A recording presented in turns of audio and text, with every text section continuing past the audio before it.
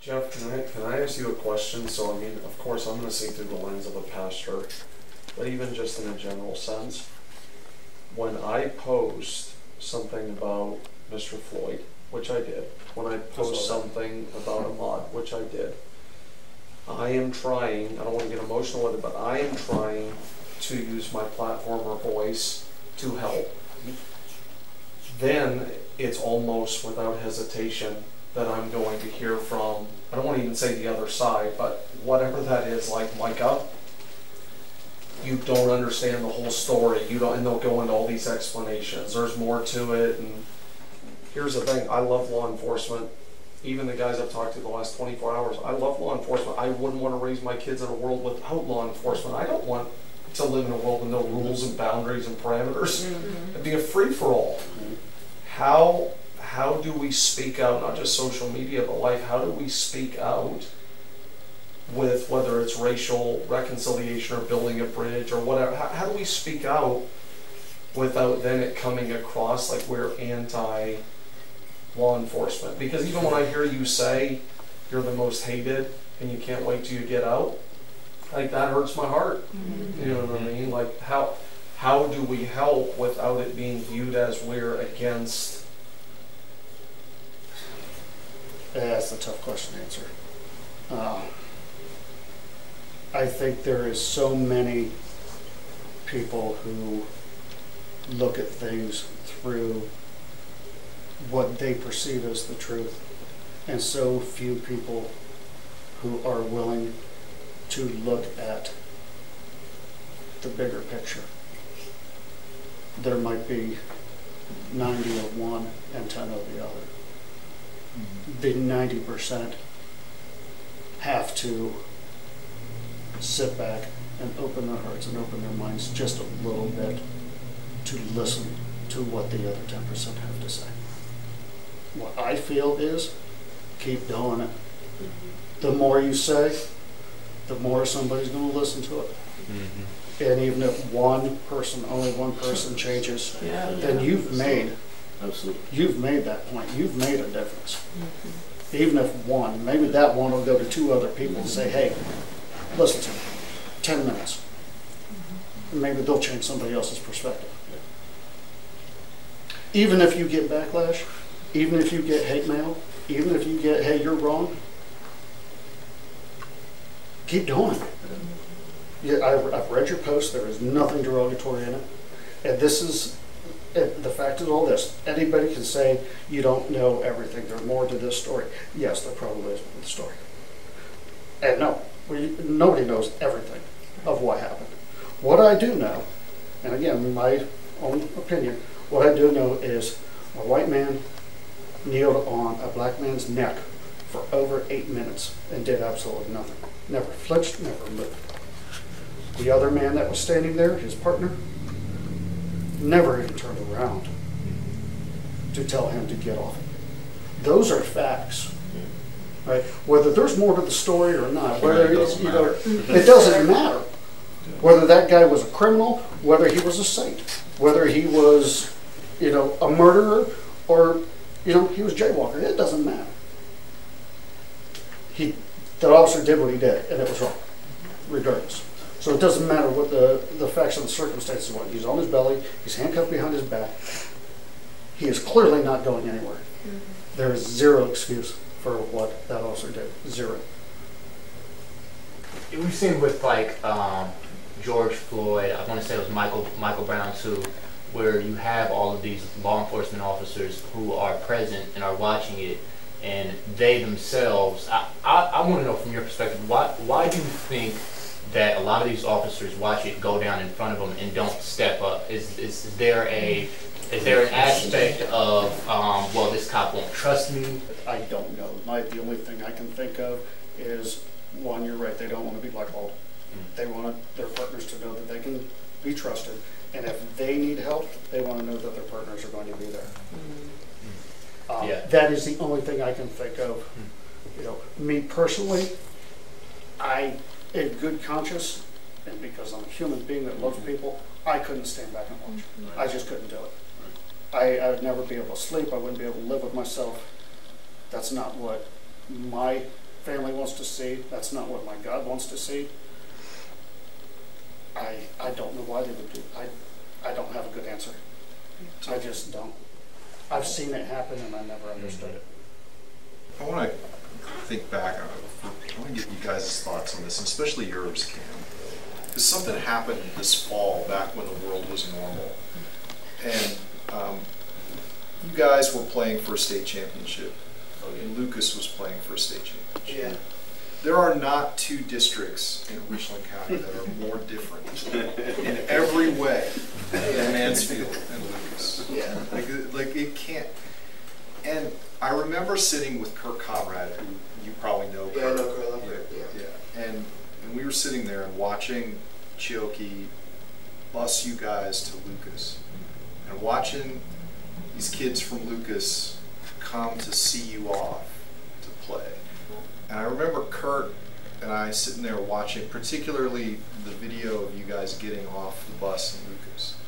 I think one of us said, and I'll, I'll say it was me because I don't know, it could have been. I said, there's probably never been that many black kids in Lucas At one time. at one time. You know, and and I, but that that moment of seeing this togetherness that that seemed to be genuinely happening with those kids. Can you talk to us about what that was like on the ground and like how that felt for you guys to be there, seeing those those athletes off and to have them come to your city? Because that all seemed like that happened very spontaneously. Yeah. Nobody knew that was happening. You know, it just sort of did. Talk to us a little bit about like what that what that felt like to you as a person when that happened.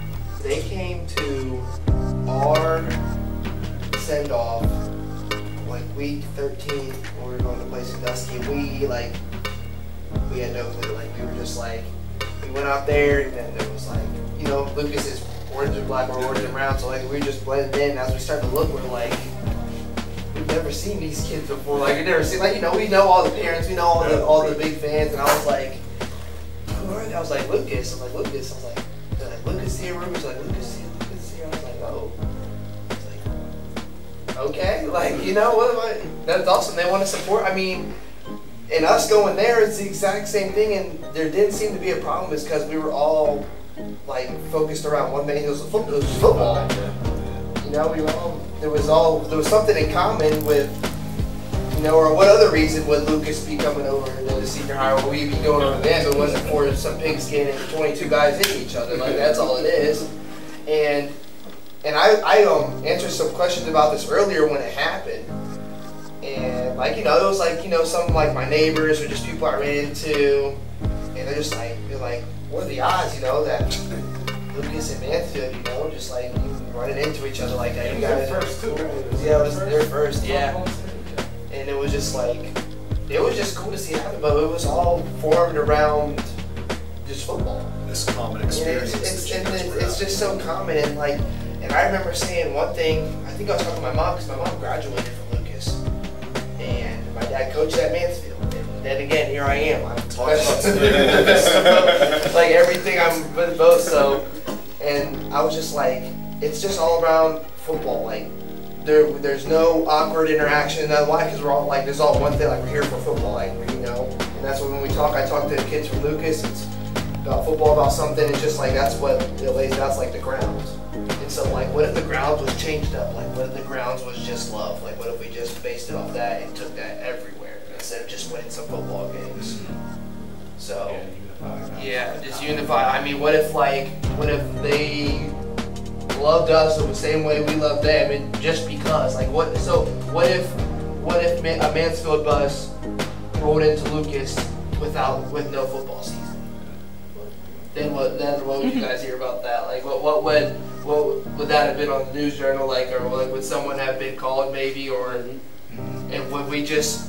What if we just wanted to get on the bus and walk? We haven't been to Lucas. None of us. we were going to Lucas in my, in, my, in, in 99.9 except me and Clay Caldwell, who has a cousin, was like, "Where is Lucas? Where is that? Where is that? You know?" So like, So like, I think you're asking is like, what if you all had just decided that Lucas had a really great pizza restaurant? And we you wanted to all go, and wanted we, go and we wanted, to, and we wanted to park away, and we wanted to walk, and we wanted Would the experience have been different? What I yeah, and like I hate to say, I hate to say it, but I, yes. Like Let me ask you, if I, if I may, yeah, uh, if it weren't for the football, and it weren't for the, the mutual love of the game and, Yeah. and you guys, you know, coming together for a common thing, how would you feel about going to Lucas and just, you know, getting a pizza hanging out? you're answering that for me or like as a collective. For you. in For me? general, Yeah, Not a problem. not a problem. At all. And and it's kind of, it's kind of funny that you mentioned that. I, I got a guy that I work with, Yeah. very, very good friend of mine. Yeah. We come up in the department together. He's six foot six. Okay. He's about 360 pounds. Monster of a man. Black as black can be. I love the guy to Yeah. death. Oh yeah. He is amazing. He will not come see me in the valley. Mm. Oh. Okay. He said, You will not catch me in the valley after dark. Mm. I'm like, Chris, why? I said, Man, you are welcome in my home any day. Mm-hmm. Let's sit around the fire and drink some beer, man. He said, Nope. He said, When that sun starts going down, not a chance. I said, Look, I got a great fishing hole out of my parents' house. It's out in the country. Nobody's gonna bother you. I offered to take him fishing out, out of our family farm. And you saw the expression go completely out of this man's face. And he said, Absolutely not. That place terrifies me. I said, Terrifies you, man? It- my parents, it's not, they'll put a chair up at the table for you. Yeah. He said, Nope. He said, It won't be five minutes and I'll see people coming out of the woods with white sheets and horses. Mm. He said, Oh, No wow. Wow. way. It's hard to. Where's he He past said- where he's from? He's from Mansfield. From Mansfield? Yeah. He's scared to death. He will not come to hell. Oh. At all. He just he won't he won't do it. And again there's that perception thing. Yeah, sad, sad to say, I understand. And you know. yo, he's I don't agree, he's but a I huge guy. Yeah. I mean, I'd run from him. you know, we went to defensive tactics one time. He tossed me across the room. but he's he's such a nice fellow, just a very very nice guy, and I love him to pieces. But he is terrified of where I came from. And I think, I think hearing him say that, it almost makes me revisit, like when you said, when I post that, when I say that, it's stuff, hearing stuff like that. Like, I love Richland County, but knowing there's people out there that's thinking, I would never come to your church. Like, if you're not gonna come fish, you're not coming to church. Mm-hmm. It's hearing stuff like that, that's so frustrating to me. You'd be surprised at how many people say they I won't go to the south Yeah. of the county. Yeah. You won't catch me on those back roads because you'll never see me again. I've I've never had a lot heard- people say that. Anything about the South and what you guys are talking about, I've never heard. If I would go there to fish, I would go there to fish. I don't know why. Maybe I've just like blocked it out. Yeah. Let me ask you, how old are you? Uh, 18. You're 18. I'm 50. All right, I've, I've got a difference a, a couple days on you. Yeah. Oh yeah, a little bit. Give, give that another 30 years. 30. Maybe not even 30 years. But as, as you grow older, you're going to see a lot more of what I'm talking about just because of experience. Just as, as you get older, you're going to see things that just are not pleasant. Yeah. You're going to hear things that people talk about uh, us rednecks. That's what we are. Okay, I, I admit it. Again, four-wheel drive, flannel shirt, boots. Nobody understands. Nobody understands my way of life. You know, I'm very, very simple. Extremely simple, probably too simple. I hunt for my food. You know, it's what I've always done. They're scared of mm-hmm. going to the south of Richland County. Mm-hmm. I was scared to go to the north end of Richland County. Right. So the discussion. Yeah, So you win. I, I did it anyways, and I stepped out of my comfort zone That's what it is. Mm-hmm. because I was tired of seeing that space between us. And that's how you bridge the gap. That's how you bridge the gap. Mr. Buford, you've got a lot of years on all of us. Yes, but Um, and so you've seen America get better and maybe arguably get worse. you know, the, the, the funny thing about that is, when I was younger, and, you know, me and the fellas get to talking, you know, I said, well, maybe as this generation move off, the next generation, everybody be okay with each other. Mm-hmm. It didn't happen like that. Mm-hmm. In some ways, the, this, some of the generation now, they picked up things from their parents and stuff, or grandparents, or whoever, but, and so that thing would follow. Now, just like when I was a young boy, me and my sisters, it was, I had, it was ten of us, but there were four of us, like, together, two boys and two girls.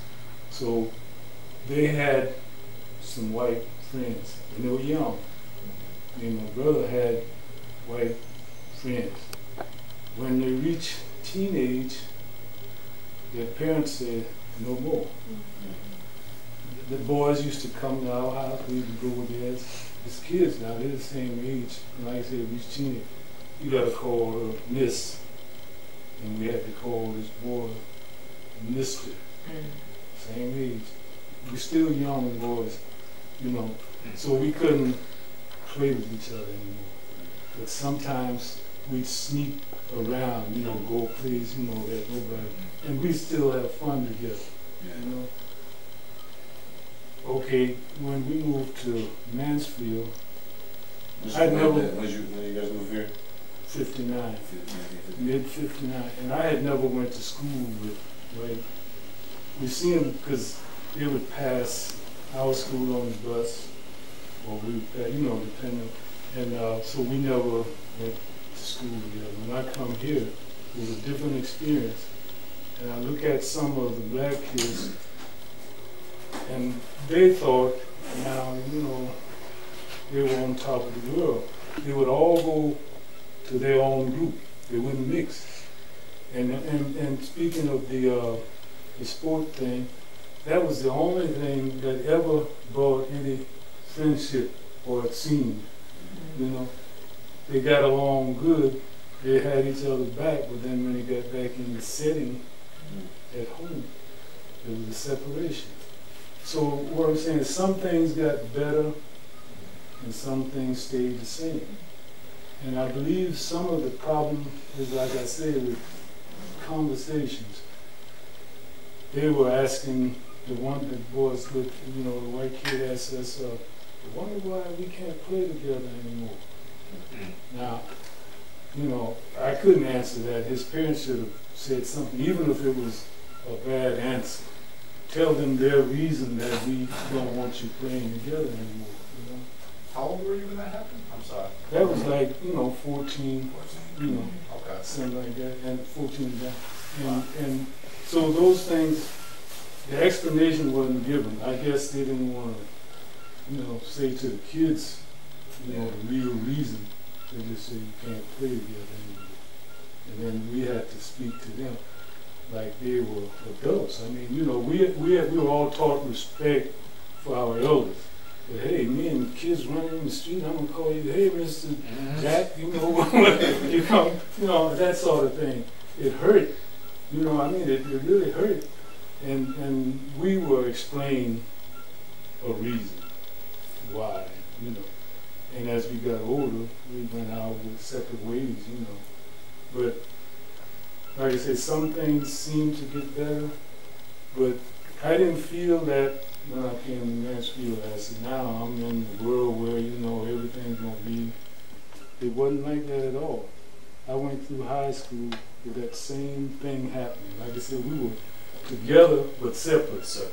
you know, which didn't make sense to me. We go to the cafeteria, and each side, I guess, know where to go, because you never see any mingling with the group, you know. But we was in this better world now, supposedly, you know. How the last few weeks made you feel? I seen things that's happening now that's, and like you go back to that social media, you see a lot of things now that were happening back then. That you just didn't see? You didn't, you know, so it wasn't as open as it is now. But I seen things happen between policemen and blacks back then. Know, I mean, some terrible things. I even had family members involved in threats from policemen, and for no reason. I mean, it really wasn't a, a, a reason, but you know, and so you come to the point where you were afraid of them. So you see him come in and make sure you, because you had to cross over on the other side of the street. So it, it put in your mind, well, you know, these are the all powerful, so you were afraid of. Whether they was gonna do anything or not, you become afraid of because of some of the things you, you know, experience.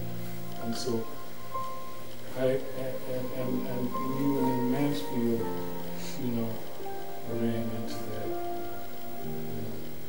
And, and then, you know, and I've always taught people, you know, uh, try to, you know, you don't lump everybody in because of a few.